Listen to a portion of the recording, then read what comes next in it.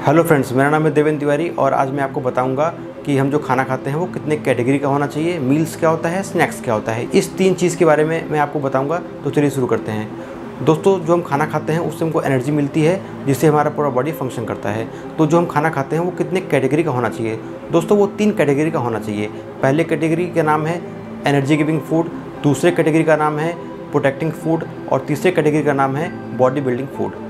अगर हम बात करते हैं एनर्जी गिविंग फ़ूड में तो इसमें आएगा रोटी, सब्ज़ी, दाल, चावल जो हम अपने डेली लाइफ में खाते हैं। और अगर हम बात करते हैं प्रोटेक्टिंग फ़ूड की तो इसमें आएगा फ्रूट्स एंड ग्रीन वेजिटेबल्स जिससे कि हमारे बॉडी की इम्यूनिटी बढ़ती है, हम जल्दी जल्दी बीमार नहीं पड़ते हैं, और अगर हम बीमार पड़ते हैं तो जल्दी से अपने आप को रिकवर कर सकते हैं। ये हमारे इम्यून सिस्टम को बूस्ट करती है।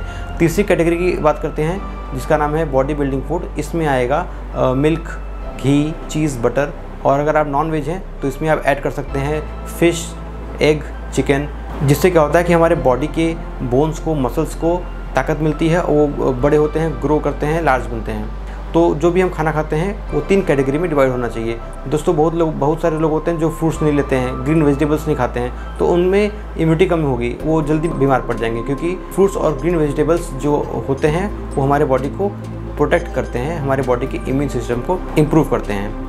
दोस्तों भाई समझते हैं कि मील्स क्या होता है। दोस्तों, जो हम पूरे दिन भर में खाते हैं, उसको बोलते हैं मील्स इसको हम तीन पार्ट में डिवाइड कर सकते हैं। पहला पार्ट है ब्रेकफास्ट दूसरा लंच तीसरा डिनर ब्रेकफास्ट का प्रॉपर टाइम होगा सुबह सात से आठ के बीच में और लंच का प्रॉपर टाइम होगा दोपहर में डेढ़ से ढाई के बीच में। और डिनर का प्रॉपर टाइम होगा रात में आठ से नौ के बीच में। दोस्तों, ये बहुत इंपॉर्टेंट है कि हमको अपना बायोलॉजिकल क्लॉक मेंटेन करना चाहिए। हमको ब्रेकफास्ट लंच और डिनर सब एक फिक्स टाइम पे करना चाहिए। दोस्तों, भाई, समझते हैं स्नैक्स के बारे में कि स्नैक्स क्या होता है। Snacks means small meal between meals तो अगर आप ब्रेकफास्ट के बाद और लंच के पहले कुछ खाते हैं तो उसको बोलते हैं स्नैक्स अगर आप लंच के बाद और डिनर के पहले कुछ खाते हैं तो उसको बोलते हैं स्नैक्स अगर स्नैक्स की बात करें तो इसमें आएगा फ्रूट्स एंड नट्स तो आपको बिटवीन मील्स आपको स्नैक्स लेते रहना चाहिए। तो इस तरह से अगर आप पूरे दिन भर का रूटीन फिक्स करेंगे तो आप हेल्दी होंगे, आपकी इम्यूनिटी बढ़ेगी और आप बीमार कम पड़ेंगे और आपकी बॉडी ग्रो करती रहेगी।